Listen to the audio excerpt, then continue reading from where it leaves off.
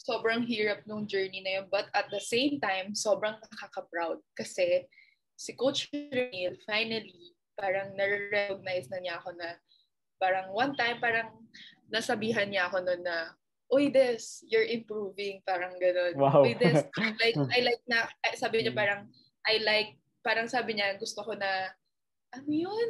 Parang something like, sabi niya, finally, nalabas mo na yung confidence mo. Parang something like Mm. that.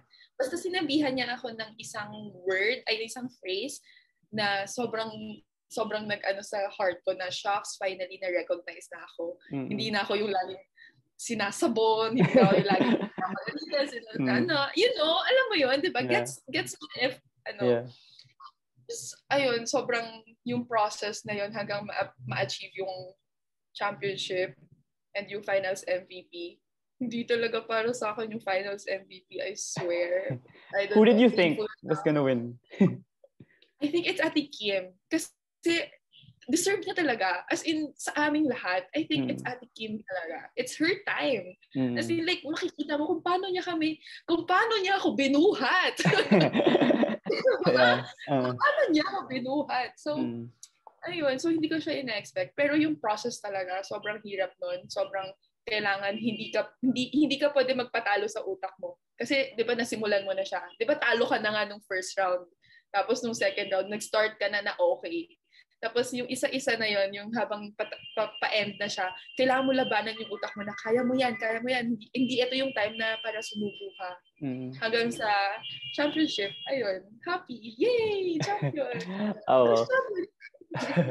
So nung season 79 din, I think dun din yung um season na gumaling din yung reception mo. Since you said you were you were focusing din on spiking. So kamusta naman yung reception mo kasi hanggang natapos yung college career mo tsaka sa pros, yung reception mo naging integral part of your game na din eh. So how did you improve that aspect?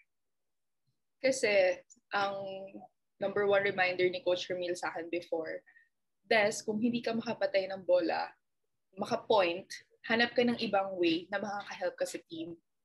So I think the best way for me is serving and receiving. So doon ako nag-focus talaga. Parang every time na may overload sa sa receiving, sa, sa serving, doon ako doon ako nagfo-focus, doon ako nagbibigay ng parang more time. Kasi sa sa sa, sa spiking, hindi ko na siya hindi ko hindi ko talaga mahanap yung tempo, yung paano kasi hindi nga ako maka-jump. Yeah, yeah. Parang alanganin. Oh. Mm. Again, awkward ka, hindi ka maka-jump, walang Mm. speed. So, ang ginagawa ko pag ganun, na- syempre nagdo-double time din ako doon. But mas nagdo-double time ako doon sa alam ko makaka-help sa team, which is yung reception, yung serving ko. So yun, doon ako nag more on nag-focus and then and then yung sa spiking, it's just a bonus for me. Na parang pag nakapatay ka, wow, nakapatay ako, unbelievable. But sarap Mm. sa feeling. Tapos ayun, doon, doon ako nagsimula. And yun naman lagi sinasabi ni Coach Rumel sa amin, pag hindi ka, pag hindi ka magaling sa isang bagay, hanap ka ng ibang bagay na pasok ka. Yung, maka, yung beneficial sa team. Huwag mo isipin Mm. masyado yung sarili mo na kailangan magaling ka sa lahat ng bagay. Pag ganun ka, ano ka na, ah, parang may sinasabi siyang potential player and isang potential player and parang smart player, parang ganun. Mhm. I think ganun. Yeah. Potential player, something ganyan. Ayun, doon na nag-start na parang hinanap ko din yung ibang um, skills na kaya ko pang improve, which is yung receiving and yung serving ko.